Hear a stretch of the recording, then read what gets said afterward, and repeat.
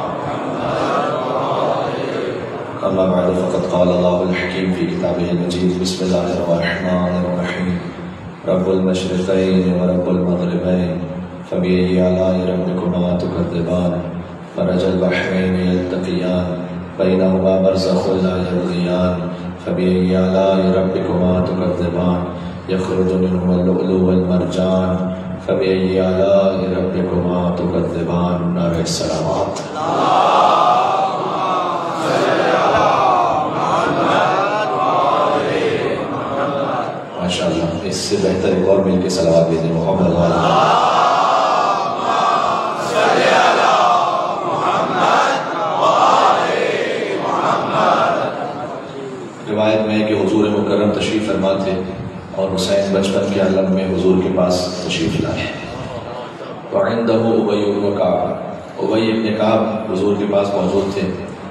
वो बयान करते हैं कि उन्होंने हुसैन को जब हजूर ने देखा तो फरमाया कि, मरहबन बिका या अबा अब्दुल्ला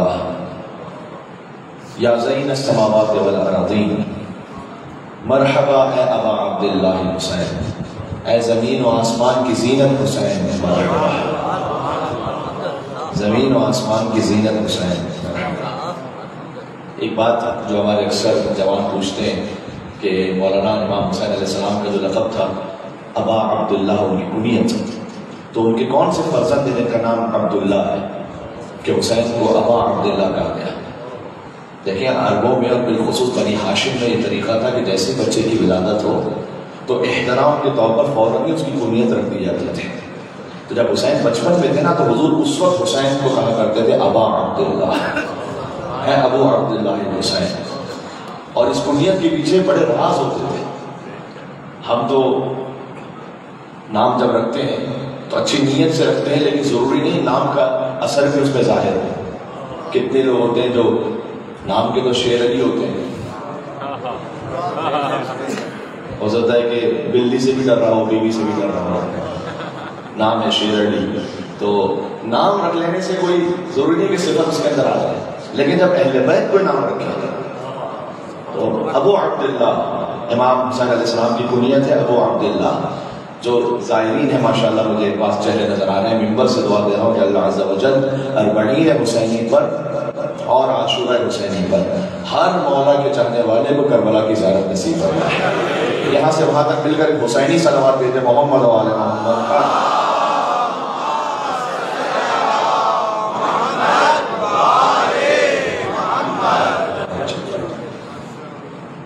आप ले जाइए जब तो वहाँ रेडी चलाने वाले होते हैं। तो आपका सामान लेकर एक होटल से दूसरी जगह पर बस से दूसरी जगह मुंतकिल करते हैं सामान। उस रेडी को कहते हैं अरबी में अरबाना। वो जो रेडी बाना होता है ना, उसको कहते हैं अबू अरबाना। यानी क्या? रेडी का बाप नहीं, उसका मालिक। बात पहुँच रही है? अब्दुल्ला यानी अल्लाह के बंदे। अबू अब्दुल्ला। अल्लाह सुबहान के हुक्म से तो अल्लाह के बंदों का सरदार। वो है अबा अब्दुल्ला ये है हुसैन तो जैसे ही इसमें एक और बात भी पोशीदा है कि अगर कोई सखी हो ना तो उसे अरबी में कहते हैं जवाद बड़ा बांटने वाला। और अगर कोई बहुत ही ज़्यादा सखी हो तो कहते हैं अबू जवाद यानी सखावत मंदों का बाप। अब्दुल्ला यानी अल्लाह की बंदगी करने वाले अबू अब्दुल्ला यानी अल्लाह की बंदगी करने वालों का सरदार। एक मिलकर हुसैनी सलवार भेजे यहाँ से वहाँ तक मोहम्मद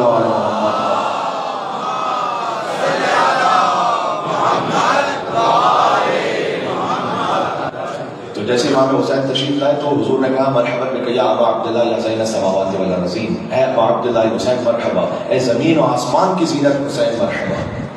तो भाई अपने काम ने कहा कि या रसूलल्लाह क्या आपके अलावा भी कोई और ज़मीन और आसमान की जीनत हो सकता है? आप अशरफ मखलूक़ात सैयद रबिया है क्या आपके अलावा भी कोई ज़मीन आसमान की जीनत हो सकता है। तो उसका हुजूर ने फरमाया कि याद रखो इन हुसैन फिस समा अकबर बिन फिल अर्ज़। जितना ज़मीन वाले हुसैन को जानते हैं उससे बहुत ज़्यादा आसमान वाले हुसैन को जानते हैं। अल्लाह।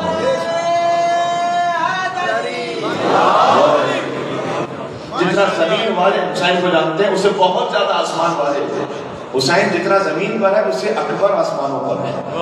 इन हुसैन से समा अकबर में मुफिल मकतूब यमीन अर्शिल्लाह। इसलिए कि अल्लाह ने अपने अर्श के दाएँ तरफ़ ये लिखा हुआ है कि नौ हुदन व सफीनत व नजात कि हुसैन हिदायत का चराग भी है नजात की कश्ती भी है। अल्लाह अकबर। हजमत इमाम हुसैन सलाम बुलंद सलाम। मिल के सलाम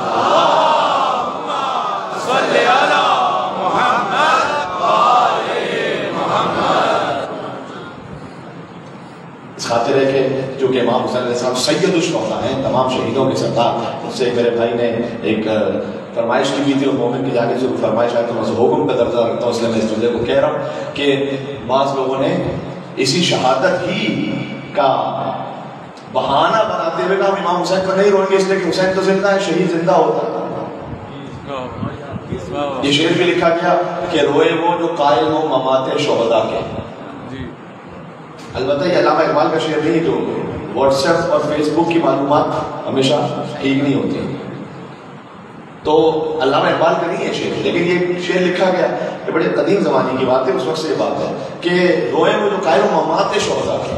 जो शहीदों के मर जाने के कायल है वो रोए हम ज़िंदा हो जावेद का मातम नहीं करते उस पर हज़रत अलामा साहब ने इसका जवाब भी दिया था और इस तरह से उन्होंने फरमाया कि अगर तुम शहीदों पे नहीं रोगे तो क्या? रोगे उनको? क्या रोगे उनको जो हालाँकि अबदी है? है। भाई मिलकर सलमान तो हुसैन अली।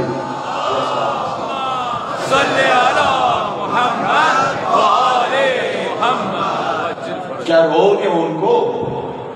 जो हालाँकि अबदी उन्होंने कहा कि रोए वो जो कायल हो ममाते शोहदा के। हम ज़िंदा हो जावेद पे मातम नहीं करते। तो अच्छा आप शहीदों पे मातम नहीं करते तो क्या किस पे मातम करेंगे मेरा फिर किस पे रोगे मातम ना करो तो रोगे किस पर? क्या रोगे उनको? जो हलाके अबदी हैं। रोगे उनको जो हलाके अबदी हैं। क्यों ज़िंदा हो जावेद का मातम नहीं करते? तो जो शहीद है, वो ज़िंदा है, अल्लाह सुबह तला के हुक्म से अल्लाह के पास। लेकिन क्या हज़रत हमजा पर रसूल अल्लाह नहीं रोए सैयद शोहदा रोने का हुक्म भी दिया। जो गिरिया है, वो मजलूमियत पर उनके ज़िंदा होने पर नहीं है, उनकी मजलूमियत पर गिरिया जो जो मजलूम है। अब अब्दुल्ला साहब से बढ़कर वो मजलूम नहीं है। और उस पर जनाब फिर मोहसिन नकवी साहब ने वो मशहूर रस्म भी लिखी कि जिसका मुझसे कहा गया, मैं सारे मैं तो नहीं मैं आगे पढ़ना चाहता हूँ कि कहते हैं, बड़े फख्र से हम गम नहीं करते मातम की सदा सुनते हैं, मातम नहीं करते वो लोग भला समझेंगे क्या रमज शहादत। जो ईद तो करते हैं, मुहर्रम नहीं करते गिरिया किया याकूब ने उनको भी तो रोको। हज़रत यूसुफ ज़िंदा थे या नहीं थे? हाय हाय हाय तो कुरान में दलील मौजूद है। हज़रत यूसुफ अलैहिस्सलाम ज़िंदा थे और याकूब उन पर रो रहे थे गिरिया किया याकूब ने उनको भी तो रोको। समझाओ उन्हें जिंदों का मातम नहीं करते। और आदम ने तो हवा के लिए पीटा है सीना। अल्लाह हज़रत आदम भी रो रहे थे हवा के लिए। तो हज़रत आदम ने भी किया, इस तरह से वो बयान करते करते आए। और असल में हकीकत क्या है? है ये बुक से अली का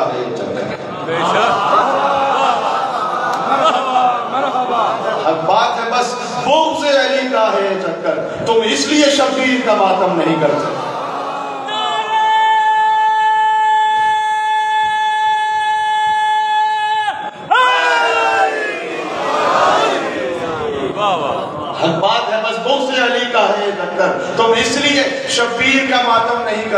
और मोहसिन यही मकबूल रिवायत है जहाँ में, मोहसिन यही मकबूल रिवायत है जहाँ में, वे कातिल कभी मकतूल का मातम नहीं करते। तो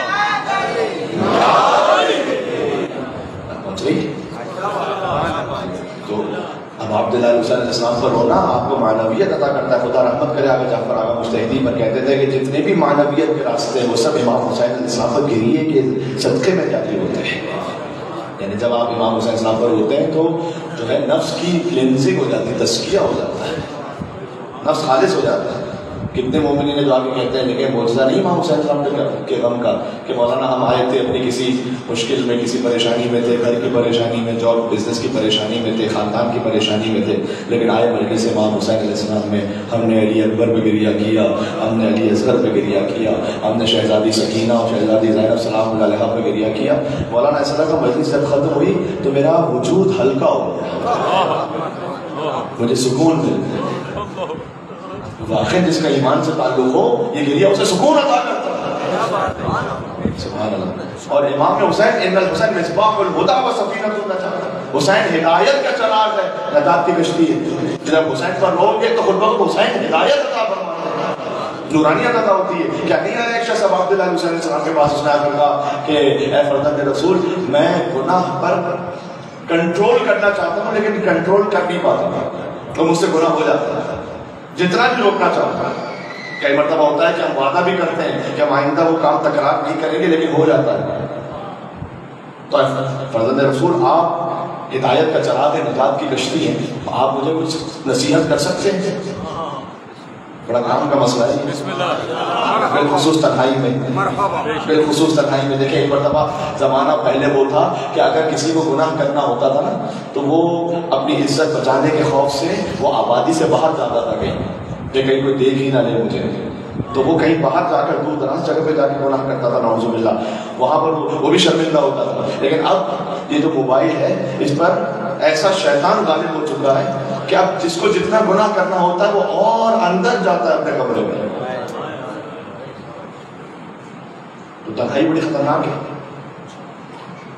हदीस में आया है कि जब कोई तन्हाई में गुनाह करता है और अगर पाँच साल का बच्चा वहाँ आ जाए और वो समझ जाए, गुनाह को रोक दे तो अल्लाह की आवाज़ आती है। हदीस का मफहूम है, अल्लाह की आवाज़ आती है कि शख्स, तूने मुझे इस पाँच साल के बच्चे से भी ज़्यादा स्पष्ट देखने वाला शुमार किया। जब मैं तुझे देख रहा था, तब तो तू गुनाह कर रहा था। लेकिन जब बच्चा सामने आया तो तूने गुनाह रोक दिया। तो आया, उसने कहा कि मौला, मैं बार बार इरादा करता हूँ, गुनाह नहीं करूँगा। वादा भी कर लेता हूँ, लेकिन गुनाह कर लेता हूँ। कोई नसीहत कीजिए अल्लाह अकबर, इमाम हुसैन इस्लाम ने फरमाया, हुसैन, हिदायत का चराग है। फरमाया कि देख, ऐसा कर, अल्लाह का रिस्क खाना छोड़ दे, फिर जितने मर्ज़ी चाहे गुनाह कर। अल्लाह का रिस्क खाना छोड़ दे। फिर तेरी मर्ज़ी जितने गुनाह करना कर। उसने कहा फर्जंद रसूल ये तो मुमकिन ही नहीं। ये जो अल्लाह दे रहा है हम वही सब खा रहे हैं सारी मखलूक अल्लाह की लफा बलमा अल्लाह सुबहान तआला की मोहताज इमाम ज़मीन पर कोई चलने फिरने वाला ऐसा नहीं जिनसे रिस्क अल्लाह के ऊपर ना हो। अभी मौलाना जो रिस्क के हवाले से गुफ्तू कर रहे थे ना कि रिस्क के लिए आप मेहनत कीजिए सुबह से शाम तक। तो मैं उसका आयत पढ़ूँ आपके सामने। इजाज़त है आयत पढ़ूँ सूर्य जुमा की आयत है। सलाह, कल का दिन है ना? आज शब जुमा लग जाएगी। जब नमाज़ मुकम्मल कर लो जुमे की सलाह। घर पे बैठे ना रहो। फैल जाओ ज़मीन। पर मेहनत करो। क्या खूबसूरत कलाम है।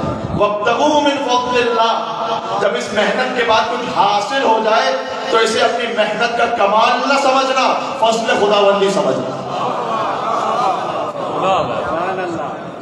यानी मेहनत पूरी करो फिर जो हासिल हो वो अल्लाह का फजल हो किसी ने इमाम सादिक साहब से पूछा कि मौला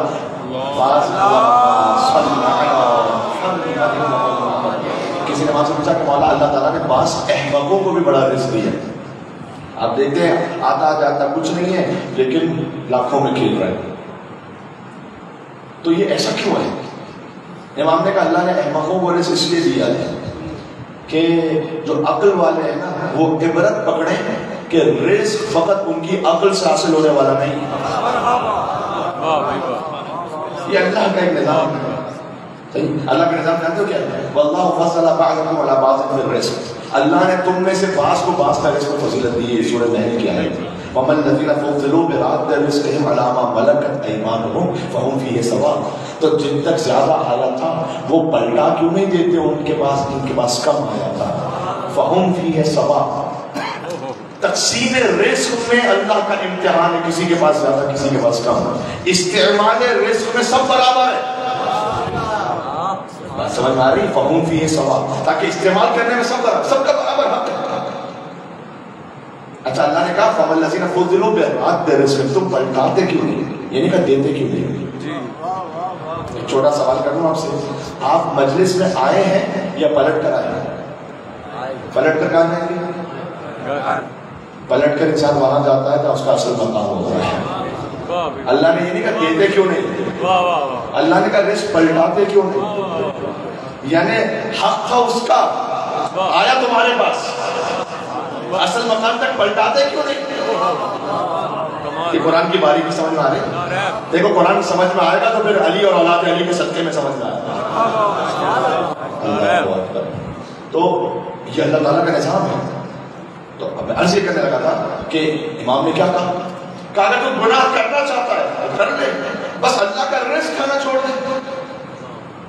तो या ये क्या कोई शराफत है कि रिस्क भी अल्लाह का खा रहा है और उस रिस्क से जो ताकत मिल रही है, उसी से गुनाह कर उसने कहा, मौला, ये तो नहीं कर सकता। अल्लाह का रिस्क खाना तो नहीं छोड़ सकता। इमाम ने कहा फिर एक और काम कर। उसने कहा अच्छा मालूम और बताइए, कभी ऐसा कर अल्लाह की हुकूमत से बाहर निकल अल्लाह। भाई जब तक आप पाकिस्तान में तो पाकिस्तान का रूल अप्लाई होता है ना आपका। तो अल्लाह की हुकूमत में जब तक है अगर तो अल्लाह की हुकूमत से निकल जाए फिर जो चाहे फजल माशे का जो चाहे गुनाह करे। उसने कहा हुकूमत से तो नहीं निकल सकता। दुआए कुमैल ला युमकिन फिरार मिन हुकूमतिक। पर तेरी हुकूमत से बाहर जाना तो मुमकिन ही नहीं है। फिर माने का अच्छा ये भी नहीं कर सकता तेरे को काम कर। जब मलिकुल मौत तेरी रूह कब्ज करने के लिए आए ना, उससे कह देना चाह नहीं जा रहा, मैं तेरे साथ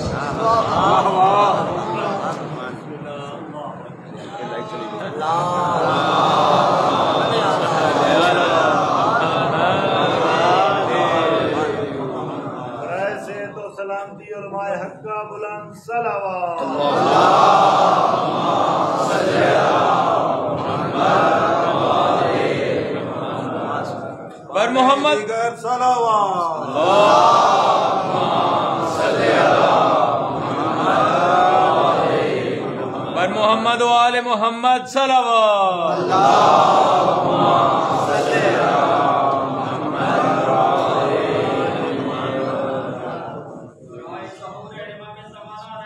यार हजरात मुमनीन मेरी मैं मोहम्मद शाह शहीद दे चुका हाजी हुसैन शाह ਦੇ ਸ਼ਗਿਰ ਦਾ ਇੱਦੀ ਬਾਬੀ ਮੁਹਰਮ ਮੈਂ ਮਸਕੀਨ ਕਰਾਂਗਾ ਮੌਲਾ ਹੁਸੈਨ ਤੁਹਾਡੀਆਂ ਧੀਆਂ ਦੇ ਪਰਦੇ ਸਲਾਮਤ ਰੱਖੇ ਹਾਜੀ ਨਜ਼ਰ ਹੁਸੈਨ ਸ਼ਾਹ ਦੇ ਸ਼ਗਿਰ ਤੇ ਜੋ ਹਾਜ਼ਰ ਤਫੀਕ ਹੈ ਮੁਮਨੀਨ ਉਹ ਨਜ਼ਰ ਅੱਲਾ ਨਿਆਜ਼ ਹੁਸੈਨ ਲੰਗਰ ਚ ਕਰਕੇ ਦੇਣੀ ਮੈਂ ਤੇ ਫੰਦੀ ਮੌਲਾ ਤੁਹਾਡੀ ਰਿਜ਼ਕ ਇਸ ਕਰਤਾ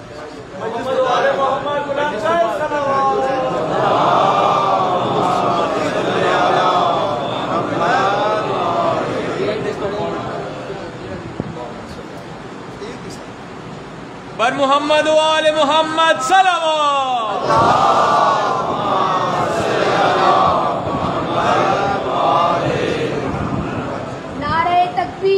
Allah.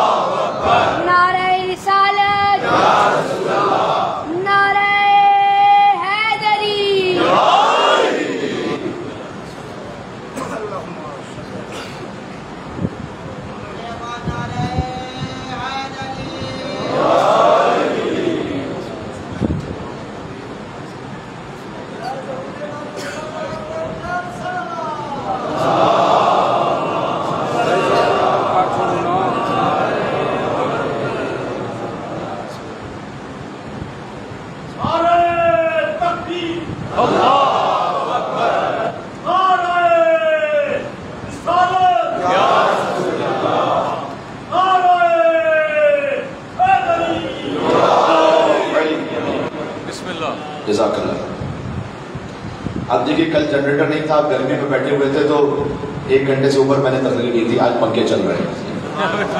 लेकिन मुझे मजलिस मुख्तसर रखनी इसलिए कि यहाँ से एक तवील सफ़र है थोड़ा तो मुझे एक और जगह पहुँचना है खिदमत के लिए। तो वक्त कम है तो मैं चाहता हूँ जल्दी जल्दी बातें आ जाए। बिस्मिल्लाह बिस्मिल्लाह।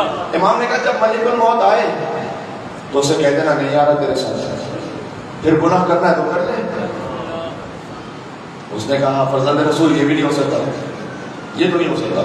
तो इमाम ने कहा अच्छा फिर एक और काम कर। जब जहन्नम के फरिश्ते, तुझे जहन्नम में धकेलने लगे। तो उनसे कहता ना नहीं जाना, मैं फजल उसने कहा ये भी नहीं हो सकता। फिर इमाम ने कहा कि अल्लाह का रिस्क छोड़ नहीं सकता। अल्लाह की हुकूमत से निकल नहीं सकता। मलिकुल मौत को मना कर नहीं सकता। जहन्नम के फरिश्तों को रोक नहीं सकता। तो फिर किस जाम में गुनाह कर रहा है अल्लाह सुबह फिर किसके मासीत कर रहा है? इन हुसैन मिसबाह को खुदा वो सफ़ेद देना चाहता हुसैन हिदायत का चराग है नजात की कश्ती इसलिए जो कुरान में ताबीर है। मैंने आयतें पढ़ी तो आपके सामने सूरह रहमान की। रब्बुल मशरिकैन व रब्बुल मगरिबैन।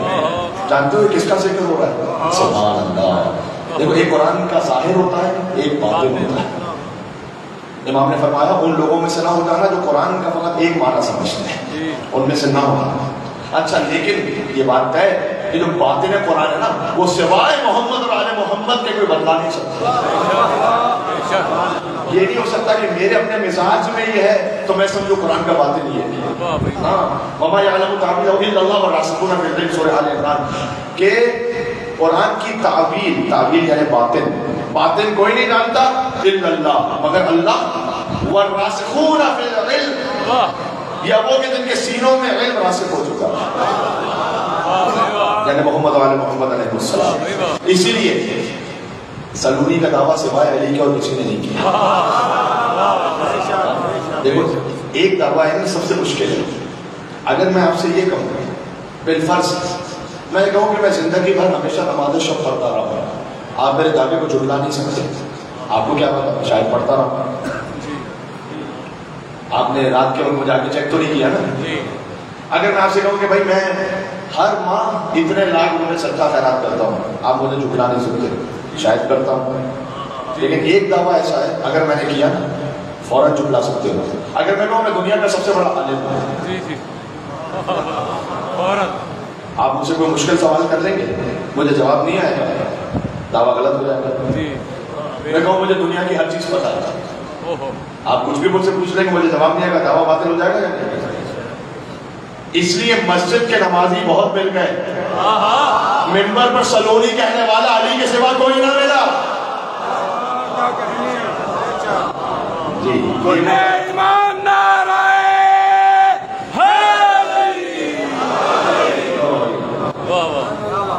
तो ताबीर जो है ना बातें कुरान का। उसमें अली और औलाद अली के को नहीं बता सकता बेशक। अब है रब्बुल मशरकैन व रब्बुल मगरिबैन। ओहो वो दो मशरकों का रब है दो मगरबों का रब है।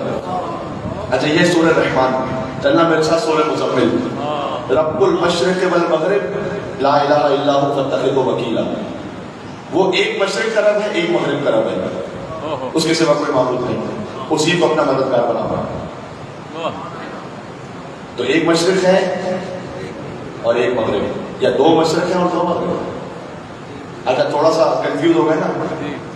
मजीद कर लेते हैं कंफ्यूज थोड़ा सूरह मारिज की आयत सुनो। फला उक़सिमु बिरब्बिल मशारिक़ वल मगारिब मैं तो कसम खाता हूँ बहुत सारे मशरकों की और बहुत सारे मगरबों की। अब एक मशरक और एक मगरब, या दो मशरक और दो मगरब, या बहुत सारे मशरक, बहुत सारे मगरब। तो है क्या सही? इब्न अबुल कुमा ने आकर मेरे मौला अली सलाम से पूछा कि क्या कुरान में इख्तिलाफ है? इमाम ने कहा, वाह हो तुझ पर अल्लाह की किताब में कोई इख्तिलाफ नहीं कभी रह अलग अलग आयतें कैसी मेरे मौला ने फरमाया कि जहाँ अल्लाह ने कहा है, रब्बुल मशरिक वल मगरिब एक मशरिक और एक मगरिब का रब। तो जहाँ सूरज तुलू होता है, आज सूरज तुलू हुआ और फिर सूरज गुरूब हुआ। तो जब सूरज तुलू होता है, तुलू आफ्ताब जब फजर की नमाज़ कजा हो जाती है। एक है तुलू फजर, फिर एक है तुलू आफ्ताब तुलू फजर पर फजर शुरू होती है, तुलू आफ्ताब पर फजर कजा हो जाती है। तो जो तुलू आफ्ताब है जहाँ से सूरज तुलू हुआ। वो मशरक है ना सूरज तुलू हो रहा है। वो एक पॉइंट है जहाँ से सूरज तुलू हो रहा है। और सूरज गुरूब हो जाएगा तो फ़र्ज़ कर लो सूरज तुलू हुआ छह बजे सुबह। और गुरूब हो गया सात बजे। तो एक मशरक एक मगरब। लेकिन दो मशरक और दो मगरब ऐसे हैं कि जब सूरज तुलू हो रहा होता है तो आपके यहाँ जब मशरक है तो दुनिया की किसी और जगह पर मगरब है। ये उस वक्त अली के सिवा कौन बदला सकता था आज तो समझना आसान है ना भाई आप क्या सूरज शुरू हो रहा है तो कहीं अमेरिका में कनाडा में गुरु हो रहा है तो वहाँ मगरब हो रही है यहाँ मशरक हो रही है जब आपके यहाँ गुरूब हो रहा है तो कहीं और शुरू हो रहा है दो मशरक एक दिन में दो मगरब होगा या नहीं होगा वो दो मशरकों रब है दो मगरबों रब है एक और रिवायत इस तरह से भी है कि मौलाना ने फरमाया कि चूँकि सूरज सर्दियों में अलग उफुक से तुलू होता है। गर्मियों में अलग उफुक से तुलू होता है। इसलिए सर्दियों में रातें बड़ी होती हैं, दिन छोटे होते हैं। गर्मियों में दिन बड़े होते हैं, रातें छोटी होती हैं। दो मशरकों रब, दो मगरबों रब। फिर फरमाया, क्या अली ये बताइए, बहुत से मशरकों रब, बहुत से मगरबों रब। क्या देखो, ज़मीन की जो अपनी हरकत होती है ना, आजकल साइंस टेक्नोलॉजी का जमाना है, इसको सब समझते हैं। ज़मीन की जो अपनी हरकत है। आज अगर सूरज शुरू हुआ है छह बजे फ़र्ज़ कीजिए। तो कल हो सकता है शुरू छह बज के एक मिनट पर वाह वाह वाह वाह। फिर शुरू होगा छह बज के दो मिनट पर गुरूब हुआ है सात बजे तो फिर गुरूब होगा अगले दिन। छह बज के उनसठ मिनट पर छह बज के अट्ठावन मिनट पर ऐसे ही है। इमाम ने कहा पूरे साल 360 मशरक होते हैं 360 मगरब होते हैं। अल्लाह अकबर या अली या अली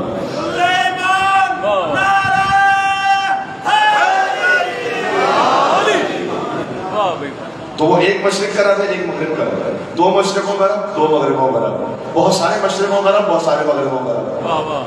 फिर मौलाना ने कहा ये तो साहिर है क्या बातिन बताऊँ? बातिन क्या? है अच्छा बातिन सुनना अली के फर्जन सादिक आल मोहम्मद इमाम जाफ़र सादिक वस्सलाम से।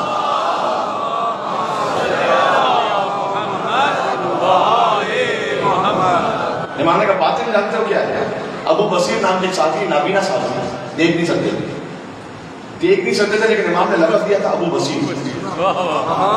बसीरत रखने वालों का बाप। बसारत रखने वालों का नहीं। बसीरत। रखने वालों का इनके लिए रवायत मिलती है कि इमाम तशरीफ़ फरमाते तो किसी ने कहा कि मौला आपके कितने ज़्यादा चाहने वाले हो गए इमाम ने कहा कि जो हकीकी चाहने वाले हैं ना मस्जिद में मौला तशरीफ़ फरमाते इमाम ने कहा अब इनसे पूछो कि मैं कहाँ बैठा हूँ इस वक्त। उन्होंने जाके पूछा किसी साहबी ने कि इमाम कहाँ है? का पता नहीं थोड़ी देर पहले यहाँ थे अब नज़र नहीं आ रहे। फिर किसी से पूछा कहाँ है? कहा कुछ देर पहले देखा था अल्लाह जाने कहाँ गए। इतने पर अबू वसीर दाखिल हुए तो नाबीना है। इमाम ने कहा इससे पूछो। वाह वाह वाह वाह वाह वाह और ऐसे पूछा इमाम कहाँ है? जानते हो इमाम कहाँ है? कहा अंधे को नज़र नहीं आ रहा, सामने से नूर तुम्हें इमाम का अल्लाह तो ये नूर इमामत को देखा करते थे अबू वसीर अबू वसीर कहते हैं कि, मौला, इसका कोई ज़ाहिर तो आपकी अली ने फरमा दिया, बातिन भी है कोई? इमाम ने कहा, बातिन भी है। बातिन ये है कि यहाँ मशारिक मशारिक कहाँ से? सूरज तुलू होता है। मगारिब जहाँ गुरूब होता है। इमाम ने कहा, मशारिक से मुराद सारे अम्बिया अल्लाह कह रहा है कि वो मशरकों का रब है, यानी अम्बिया का रब है। मगारिब से मुराद सारे औसिया यानी जो नूर अम्बिया से चलता है, वो औसिया तक पहुँचता है। क्या मौला, मशरकैन दो मशरकों का रब, दो मगरबों का रब। इसका क्या मतलब है? इमाम ने कहा, मशरकैन से मुराद मोहम्मद अली मगरबैन से मुराद हसन और हुसैन। अल्लाह अकबर। जो नूर मोहम्मद और अली से चला है वो हसन और हुसैन तक पहुँचा है। तो रब्बुल मशरकैन है और रब्बुल मगरबैन है। यानी मोहम्मद और अली का रब हसन और हुसैन का रब। मशारिक से मुराद अम्बिया मगारिब से मुराद औसिया मशरकैन से मुराद मोहम्मद अली मगरबैन से मुराद हसन और हुसैन। और एक मशरक और एक मगरिब को देखना हो तो गदीर के मैदान में देखना कि जब एक मशरक ने मगरिब को हाथों में बुलंद किया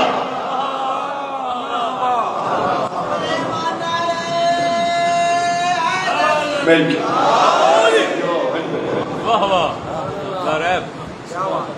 देखो ऐसे ही है ना मशरक से सूरज शुरू होता है फिर जब गुरूब होता है तो मगरिब हो जाती है। अगर आप किसी बच्चे को उठाएँ तो कुछ बच्चा नज़र आ रहा हो कुछ आप नज़र आ रहे हैं।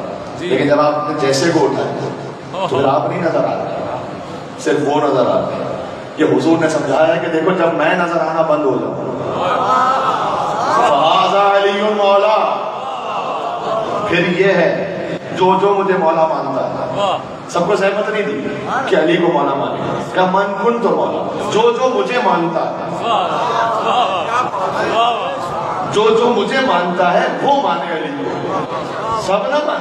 मन कुन तो मौला मोहम्मद अली मौला। बात खत्म कर दिया अली ने इसका मतलब यह है कि जो कुछ मोहम्मद मुस्तफ़ा को हासिल है सिवाय नबूवत के वो सब का सब अली के मुर्तजा को हासिल है। बनस हदीस कुरानी नफ्स रसूल है। अली कुतब आलम इम्कान है। आलम इम्कान का खुद समझते हो? या आखिरी जुमला कह रहा हूँ, मैं जा रहा हूँ मंजिल मसाइफ पे खुद समझते हो? खुद खुद यानी सेंटर। मौलाना ने जो बलागा में कहा है, आलम इम्कान जो पूरी कायनात है ना, उसका मरकज में है। अली कुतब आलम इम्कान है। अली मौला मोमिनीन अली यासूबुद्दीन अली नबी अजीम अली मुबीद शिरक वल मुशरिकीन अली कातिल नाकिसीन वल कासिदीन वल मालिकीन अली अबुल यतामा वल मसाकीन बाब हिकमत रब्बिल आलमीन अव्वलुल आबिदीन बाब हिकमत रब्बिल आलमीन वाह वाह। अमोदुद्दीन अली शबी हारून अली नफ्सुल रसूल अली जौजुल बतूल अली सैफुल्लाह मसलूल अली अमीरुल बररा कातिलुल फजरा कसीमुल जन्नत वन्नार साहिबुल लिवान सैयदुल अरब है। कशाफुल कुरब है। सिद्दीक अकबर फारूक आज़म है। अली। हम्म? जी। अली करार गैर फरार है बरादर जाफ़र तैयार हाजिम अहजाब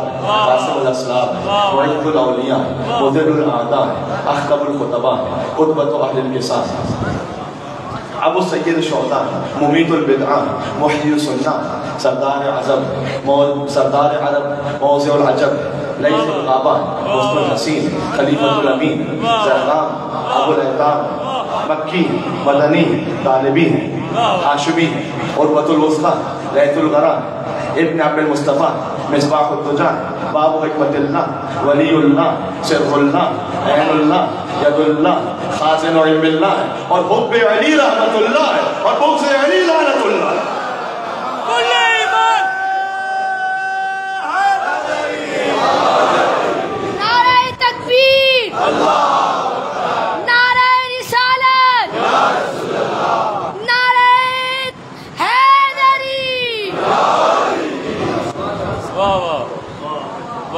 ये मुझसे कहा था किसी ने कि अली का मुकद्दर सुनाओ लेकिन मैं एक और अंदाज से सुना दिया आपको।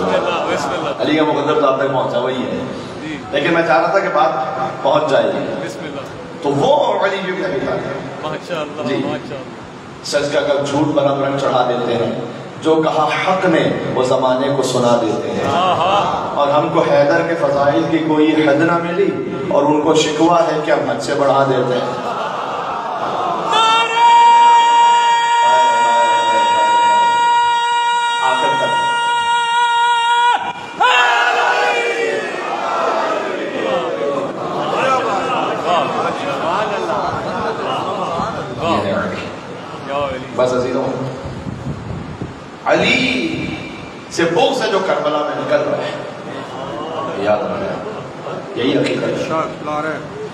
अली का बोझ ज़ाहिर में नमाजें तो वो भी पढ़ रहे हैं।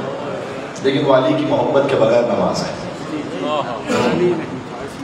अच्छा कोई ये ना समझे, ये जो नमाज़ छोड़ने वाले होते हैं ना, वो बहाना बनाते, बहाना बना के कहते हैं, नमाज़ तो यजीदी भी पढ़ते थे हाँ। ये बहाना ना बना, क्यों, पता है क्यों? इसलिए कि नमाज़ यजीदी भी पढ़ते थे मैं मानता हूँ। लेकिन नमाज़ हुसैनी भी पढ़ रहे थे तो तुमसे कौन कह रहा है कि यजीदियों वाली नमाज़ पढ़ो? भाई, तुम हुसैनियों वाली नमाज़ पढ़ो ना। ये कहता भाई, नमाज़ तो यजीदी भी पढ़ते थे। हाँ पढ़ते थे वो। कैसा तमस्कुर इस्लाम की तकदीर के साथ, कटा शबीर के साथ, नारा तकदीर के साथ। तो नमाज़ वो पढ़ रहे थे, लेकिन वो यजीदियों वाली नमाज़ जो मुँह पे मारी जाए वो बुग्ज अली के साथ। उसे छोड़ो, लेकिन हुसैन भी तो नमाज़ पढ़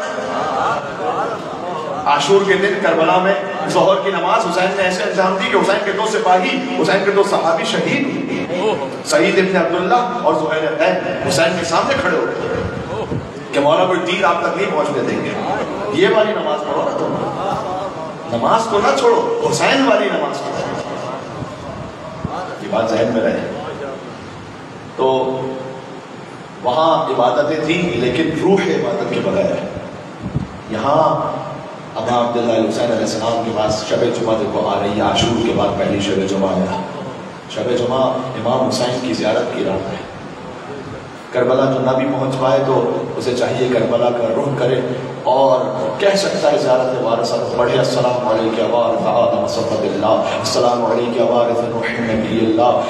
अलैका वारिस इब्राहीम अलैका वारिस, मूसा कलीमुल्लाह अस्सलाम ईसा रूहुल्लाह। अस्सलाम मोहम्मद हबीबुल्लाह। जो पढ़ सकता है ज़्यारत वारसा पढ़े जो नहीं पढ़ सकता, इमाम ने फरमाया है कि अपने घर की छत पे जाओ। अगर ये भी ना कर सको तो कहीं पर किसी मकाम पर। दाहने बाहने देखो, ऊपर और नीचे देखो। ये रम्ज है इस बात का कि अल्लाह ने कायनात को हुसैन अपने अली के इख्तियार में दिया।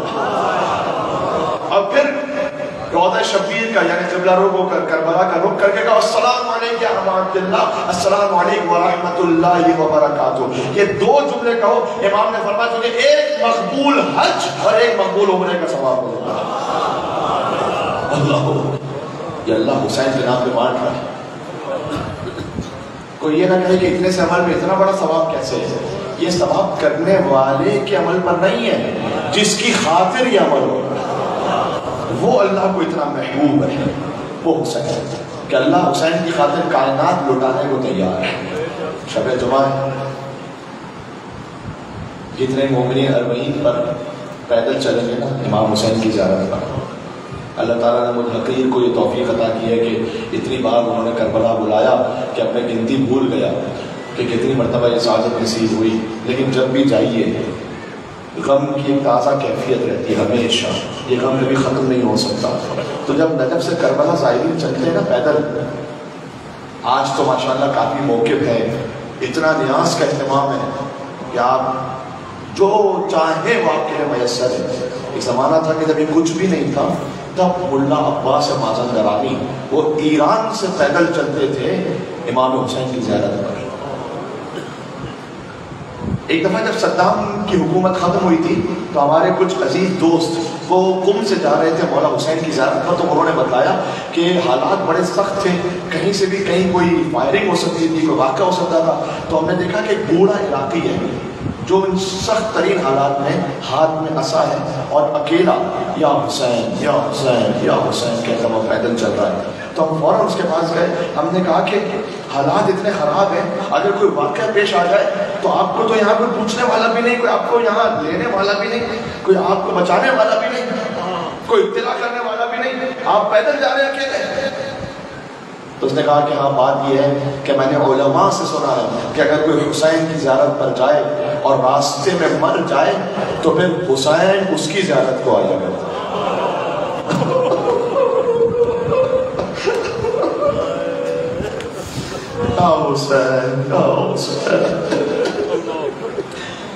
तो मुल्ला अब्बास पैदल चलते थे इमाम हुसैन की ज्यारत पर। तो उनके साथ एक छोटा सा कारोबार होता था, छोटा सा। तो चल रहे थे पैदल। के शब जुमा करीब आ गई जैसे अब यही वक्त है। मैं चाह रहा था मौके की मुनासिबत से बसाया बिल्कुल यही वक्त था। तो इतना थक गए वो कि सब बैठ गए, उन्होंने कहा चलने की हिम्मत नहीं कई दिन से हम चल रहे हैं, थोड़ा आराम करेंगे, फिर कल सुबह को चलेंगे। तो कुछ देर बाद जब न्याज उन्होंने कर ली और नमाज़ पढ़ ली तो फिर किसी ने कहा कि, देखो शब जुमा है। अगर हिम्मत करके चलो और फजर से पहले पहुँच जाओ हुसैन के हरम तो शब जुमा में हुसैन की ज्यारत नसीब हो जाएगी जब एक लाख चौबीस हज़ार अम्बिया हैं हुसैन की ज्यारत पर तो थका हुआ काफला हुसैन का नाम सुनता है, वो अपने मकाम से फिर खड़ा हुआ फिर चलने लगा, या हुसैन या हुसैन। कहते हम सिरकते सिरकते, घिसकते घिसकते पहुँच रहे थे। और पहुँचे हुसैन के हरम में फजर से पहले।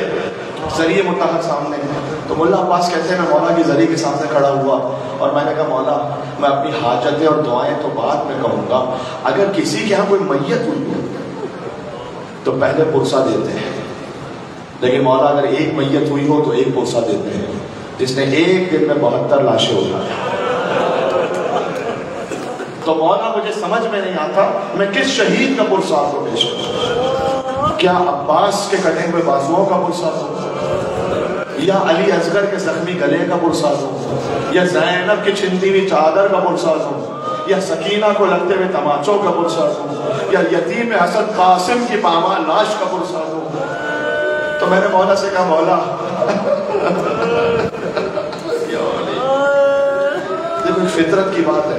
अशरा पूरा होता है ना? मुहर्रम का। तो किसी दिन आप हज़रत खुर के मसाइब पढ़ते हैं, किसी दिन हबीब इब्न मजाहिद के पढ़ते हैं, फिर एक शब मकसूद होती है, शहजादा अली असगर एक शब शहजादा अली अकबर, एक शब शहजादा कासिम, एक शब अबुल फजल अब्बास। शहादत है तो सबकी आशूर के दिन हुई ना। तो हम ये एक अलग अलग करके ज़िक्र क्यों करते हैं? इसलिए किसी जाकिर की ये हिम्मत नहीं है कि एक साथ सारी शहादतें पढ़े ना कोई सुन सकता है कि एक साथ, एक शहादत सुनने के बाद क्या हालत होती है? सारी शहादतें ना कोई एक साथ पढ़ सकता है, ना कोई एक साथ सुन सकता है। तो जरा सोचो, जो हम एक साथ पढ़ नहीं सकते, जो तुम एक साथ सुन नहीं सकते, वो हुसैन ने एक दिन में उठाए। जनासे पे अजब कयामत का पड़ा है। एक लाश अभी लाया है, एक लेने चला। हुसैन कभी और मोहम्मद को ले आते थे, फिर कासिम को लेने चलते थे। फिर कासिम को लाते थे, अकबर को लेने चलते थे। अकबर को लाते थे, अब्बास को लेने चलते अजब मजलूम है इमाम हुसैन तो उसने कहा, मौला, मैं किताब खोलता हूँ, सारे मैं मरसिए तो एक साथ नहीं पढ़ सकता। तो जिस शहीद का मरसिया आया, मैं उसका मरसिया पढ़ दूँगा शब जुमा तो मुल्ला अब्बास कहते हैं, जैसे मैंने किताब को खोला तो शबी है रसूल, अली अकबर का मरसिया सामने तो मैंने मैंने पढ़ा कि वो कितना सख्त वक्त था उस बूढ़े बाप पर, जब जवान बेटा उसे छोड़कर चला। या अल्लाह। देखो, मुझे पूरी शहादत नहीं पढ़नी, मैंने तो शब जुमा की मुनासिबत से कहने थे दो जुमले ताकि दिल मुतवजह हो जाए। बस, इसलिए मैं तो कितना सख्त वक्त था। अल्लामा जीशान अगर जवाबी लिखते हैं, जब अकबर चले ना खेमे से, ऐसा लगा जैसे भरे घर से जनाजा निकल रहा बार बार खेमे का पर्दा उठता था बार बार खेमे का पर्दा गिरता था, कोई दामन पकड़ लेता था। अब नहीं मालूम कौन दामन पकड़ता था। लेकिन इतना समझ में आता है, कोई बूढ़ी या बुज़ुर्ग खातून होती, या बड़ी खातून होती तो वो शाना पकड़ती। ये जो पकड़ रही थी ना दामन, ये चार साल की बच्ची थी। जो कह रही थी कि भैया, हमें किसके सहारे छोड़कर जा रहे हो? ये हुसैन की सकीना। बहरहाल जब अकबर चले तो जैसे ही कुछ आगे बढ़े थे ऐसा लगा जैसे कोई आवाज़ आई हो। अब जो मुड़कर देखा देखा बूढ़ा बाप। आहिस्ते आहिस्ते, का बाबा अभी तो आपसे इजाज़त लेकर आया था। यहाँ पहले इल्म भी तशरीफ़ फरमा, उनके लिए जुमला कहूँ इस्तना अबाहू फअज़न लहू। मकतल में है कि जैसे ही अकबर ने इजाज़त मांगी थी, हुसैन बकियों को मना करते थे, लेकिन अकबर को कहा, जाओ। बस हाथों को उठाया, अल्लाहुम्मा इशहद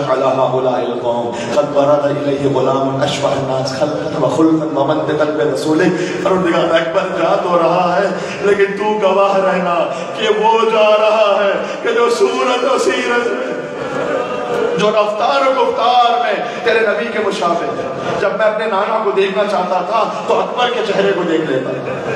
कहते, बेतहाशा गिरिया हो रहा था। मुल्ला अब्बास कहते हैं, वहाँ मैं मसाइल पढ़ रहा था, जब अकबर चले ना तो ज़मीन करबला पे तशरीफ़ लाए। अलैकम सलाम, मेरा आखिरी सलाम। हुसैन उठे, चले और फिर गिरे। फिर उठे, फिर चले। कभी दाएँ गिरे, कभी बाएँ गिरे। कहते थे खुद उदऊनी या बुनैया, ऐ मेरे लाल, मुझे आवाज़ दो। तेरे बाप को कुछ नज़र नहीं आ रहा। हुसैन हुसैन पहुँचे तो वजा खत दे हुसैन ने अपना रुखसार अकबर के रुखसार पर रखा और कहा दुनिया कल अफा ए बेटा, आपके बाद दुनिया की ज़िंदगी जी कर क्या करूँगा? हुसैन मुझे दो जुमले कहने मेरा साथ देना। और अगर हो सका मुझे तौफीक रही तो मैं आखिर में मरसी के भी दो बंद पढ़ दूँगा, ताकि मरसिया पढ़ने वालों में भी मेरा नाम दफ्तर में लिखा जाए। जब हुसैन ने कहा बेटा, तुम उठाना चाहना तो हाथ लफ्जे बूढ़ा बाप है। क्या तुम जवान हो? ऐसा करो, अपने दोनों हाथ मेरी गर्दन में डाल दो, ताकि तुम्हारे हाथों के सहारे तुम्हें लेकर चलो। तो अकबर ने एक हाथ हुसैन की गर्दन में डाला, दूसरा हाथ सीने से नहीं हटाया। क्या बेटा, इस हाथ को भी मेरी गर्दन में डाल दे। क्या बाबा, इस उम्र में आपको सदमा देना नहीं चाहता बाबा बेटा, हाथ हटा साबिर हुसैन अब जो हाथ हटा बर्छी का टूटा हुआ हुसैन ने अकबर को ज़मीन पर लिटाया मुल्ला जाफ़र शूस्तरी कहते हैं हुसैनिया में, अकबर मर गए थे हुसैन के लाशे पर। अगर जैनब की आवाज़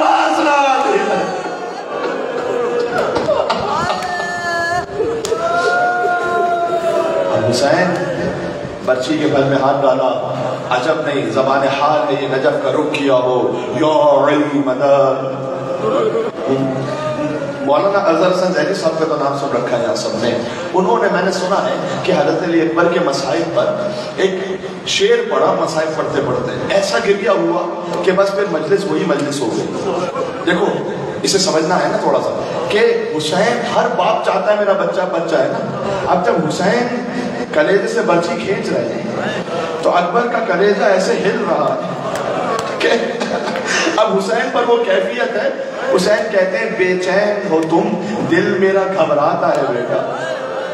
बेचैन हो तुम, दिल मेरा घबराता है बेटा। मर जाओ, कि अब सब्र में फ़र्क आता है बेटा।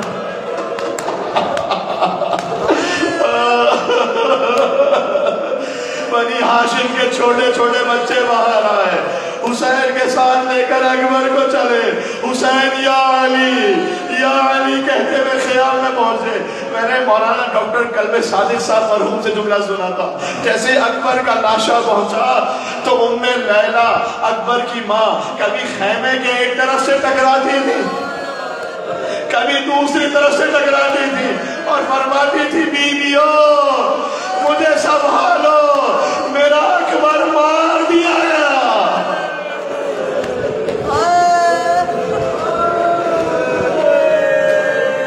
ये जुमला सुन लिया मुल्ला अब्बास आखिरी जुमला सुनो जितने खिदमत करने वाले हैं। मैं बिलखसूस डॉक्टर साहब जिनकी मोहब्बत मुझे यहाँ ले आई आपके पास आ, उनके लिए और उनके पूरे खानवादे और बच्चों के लिए जो यहाँ इतना मेहनत से अहतमाम करते हैं मैं जुमला कहने लगा हूँ। मुल्ला अब्बास कहते हैं मैंने मसाइब पढ़े अली अकबर के ज़रिए के सामने गिरिया हुआ मैं मुसाफिर खाने आ गया वापस।